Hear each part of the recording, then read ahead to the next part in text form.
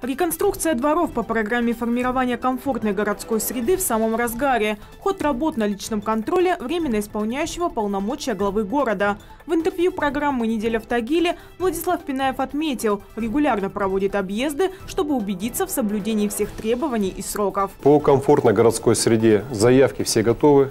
Отбор предварительный у нас уже пройден. Рейтинговое голосование показало, какие объекты мы будем делать в последующем, в какие, в какие временной промежуток. По общественным территориям у нас также есть направление, это сквер Пионерский на Вагонке. Это та территория, которая получила, заняла второе место и получила по количеству, определенное количество голосов. Поэтому опасений тоже нет. На уровне области и федерации программа культивируется, продолжает развиваться. Заявку подготовим, будем участвовать в полном объеме. В этом году по программе формирования комфортной городской среды благоустроят 9 дворов. Все работы должны завершиться к 15 октября.